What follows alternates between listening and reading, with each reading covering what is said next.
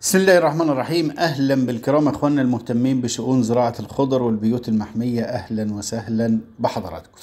طبعا الفيديو هو مهم ومهم جدا جدا جدا يا جماعة لأن هتكلم فيه على عايزك في بالنسبة لأمراض النبات مجرد ما تشوف الصورة تعرف هي إيه. لا تسأل مهندس ولا تسأل أي حاجة لو أنت فلاح ناصح أو إنك أنت مزارع آه، محترم أو مهندس لسه الخبرة بتاعتك مش كبيرة مجرد ما هتشوف العرض دوت هتعرف يعني إيه التريبس تمام؟ بس قبل ما أدخل في موضوع التريبس في حاجة مهمة جدا. في موقع اسمه موقع الأرض. الأرض ده موقع وقناة تلفزيونية والدنيا قايمة خالص تمام؟ ولو شفت حضرتك الصورة اللي على الشمال دي بتاعت موقع الأرض وعليه إعلانات أهوت أول إعلان فيهم لشركة الكلثوم تمام؟ والصورة اللي هو حاططها موقع الأرض ديت الايد دي ايد رجب الشبراوي والفيديو دهوت أنا شرحه. طبعا على اليمين اهوت الفيديو بتاعي. طبعا الموقع ده هو حاطط الصورة بتاعتي ديت من سنة 21 أنا الصورة بتاعتي لو رجعت لها هتلاقيها من أربع سنين. أنا بتكلم فيه عن ال ال العوامل الفسيولوجية اللي, اللي بتحصل للثمار بتاعه الخيار. لو بصيت دي الصورة الرئيسية اللي محطوطة في الفيديو بتاعي. طبعا أنا شرحه في المملكة العربية السعودية في البيت رقم أربعة في مدينة تيماء المحترمة اللي أنا بعشقها من دون الوطن العربي للمية بتاعتها والجو الروعة بتاعها تمام؟ وأنا شرح الفيديو ده فيها وحضرتك هسيب لك ال ال الرابط بتاع الفيديو أساسا على علامة الأي أول ما تنزل لك هتدخل هتلاقيه تقريبا في الدقيقة الدقيقة و50 ثانية هتلاقي الشرح اللي أنا شرحه دهوت شرحه بالصوت والصورة هتبص هتلاقي المهم الجماعة بتوع الأرض واخدين الصورة بتاعتي أنا ودي إيدي وده شرحي وده الفيديو بتاعي واخدينها حاطينها عندهم. تمام؟ الأخت سارة أسامة وطبعا مفرغين الفيديو بد- بدل أنا ما بتكلم كده هم مفرغين الفيديو وحاطينه وحاطط لك موقع الأرض والدنيا قايمة. يا جماعة الخير انسبوا الفضل لأهله. الله يهديكم الله يهديكم الله يهديكم. شكرا لحضراتكم وبنبدأ نتكلم عن ادعموا بانوراما زراعية. والله مش عشان أنا اللي بشرح فيها ولكنها كنز مش هت مش هت يعني مش هتعرفوا قيمته إلا إذا يعني توقف أو حصل له أي حاجة. آه بنتكلم عن حاجة من الحاجات اللي بتعمل لنا إزعاج جدا ألا وهي حشرة التربس لو في الأول أنت ناصح تقدر تكتشفها في الورق تمام؟ طبعا التربس ما بفرقش لا بين شتاء ولا بين صيف ولكنه في الصيف دورة النمو بتاعته أو أي حشرة طالما زادت درجة الحرارة والإضاءة بقت عالية والنهار بقى طويل تمام؟ بيبدا اي أي حاجة حشرية بتبدأ تشتغل وشغلها بيكون جامد جدا وخصوصا الثاقبة الماصة. وخصوصا التريبس اللي إحنا بنتكلم عنه دهوت. طبعا آه، أعراض التريبس على الأوراق زي ما حضراتكم شايفين كده هوت لو أنت راجل ناصح أو مزارع محترم آه، هتقدر تكتشفه بسهولة جدا وهو لسه على الأوراق تمام؟ طيب بعد كده بقى حضرتك آه، بدل ما هو على الأوراق بينتقل بقى أنت ما كافحتش على الأوراق وما قدرتش تسيطر عليه وهو ما يزال على الأوراق تمام؟ مستخبي كده والدنيا بتاعته كويسة تمام؟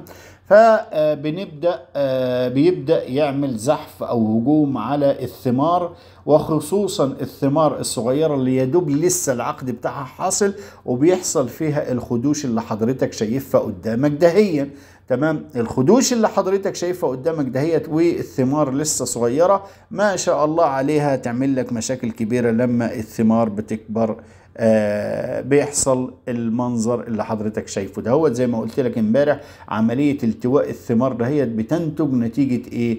نتيجة ال آه نتيجة الأكل التربس من ضمن العوامل بتاعتها إن التربس بينزل وبهاجم الثمار وهي ما تزال صغيرة فبياكل من ناحية فبتقوم الثمرة عاملة عملية التفاف على ال- ال- ال center بتاعها. محور الثمرة بيجي على ال center بتاعه وبيكون الوضع اللي بتشوفه حضرتك ده هو. تمام؟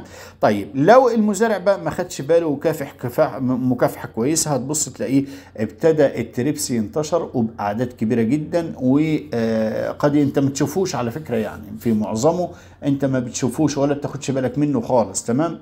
إلا بعض التريبس اللي هو يحسسك بالإحساس يعني في القطن مثلا أو تريبس البصل والقطن وأنت ماشي كده في شهر إبريل تمام؟ آه لو حصل نوبات حرارة عالية بتبص تلاقي نفسك كده إيه عمال تضرب في وشك وفي رقبتك من ورا والدنيا مش مظبوطة عندك ليه؟ التريبس ابتدى يهاجمك وخصوصا في وقت الظهيرة تمام؟ ده بتحسه وبتشوفه تمام؟ التمام تريبس الأسود تمام؟ أما تريبس الخيار ده يعني لازم تكون ناصح علشان تقدر تشخصه وتشوفه كويس يكون معاك عدسه وتتأكد منه علشان ما يوصلش لمرحلة الوباء اللي بيحصل صنفرة كاملة لثمار الخيار وبالتالي بتفقد القيمة التسويقية بتاعتها وكأنك يا أبو زيد ما غزيت زي ما بيقولوا عندنا في مصر الحبيبة. طيب بعد كده بقى لو الأمور بتاعه التريبس على فكرة يا جماعة خطر جدا. لو الأمور بتاعته خرجت على السيطرة بيعمل الوضع اللي حضرتك شايفه قدامك ده. هو طبعا وضعه يعني مش كويس خالص وده بيكون نتيجة إن المزارع أهمل الأرض بتاعته إهمال شديد. ده الوضع اللي شايفه قدامك دهوت أو العرض دوت بتكون الأرض أهملت إهمال شديد. مفيش لا تقليم مفيش أساسا عملية رش كويسة مفيش تسميد كويس. الدنيا آه للأسف الشديد مش حلوة. إهمال في كل شيء. فبنوصل للآخر للوضع ده هو مكافحة التريبس يا جماعة من أفضل المبيدات اللي بتكافح التريبس. ممكن العيلة بتاعت البرايد كلها أسيتامبرايد والإيميداكلوبرايد دول ممتازين جدا. حتى الإيميداكلوبرايد ممكن تحطها في مية الري ما عندكش مشكلة خالص. بتظبط لك التريبس. على فكرة لو أنت دخلت أساسا على مرحلة الجمع وأنت التريبس عندك ممنوع أو مش موجود في الأرض بتاعتك صدقني أمورك هتبقى كويسة. ولكن المشكلة إن النبات معاه من أول من الأساس خالص يكون مهمل وأنت تبدأ تشتغل يعني فترة قبل الجمع دي تكون طولت خالص. يعني بدل ما هي مثلا تكون 35 يوم في الصيف أو 37 يوم لا ده أنت نتيجة الإهمال بتطولها جامد. فبالتالي بيركبها جميع الأمراض وأنت ما أنتش محافظ والأمور بتخرج عن السيطرة إهمال كامل في الأرض. فبتدخل مرحلة الجمع وأنت أساسا عندك أساسا التريبس موجود فمجرد ما بيحصل عقد للثمار بيحصل عملية مشاكل التريبس وبتفضل معاك موجودة خلال العام وخصوصا في فصل الصيف يا جماعة خصوصا في فصل الصيف والخريف. التريبس طبعا بيبقى وضعه للأسف الشديد يعني يرثى ليه بالنسبة للمزارع اللي أو المزارع اللي ما بيحافظش على حاله. تمام؟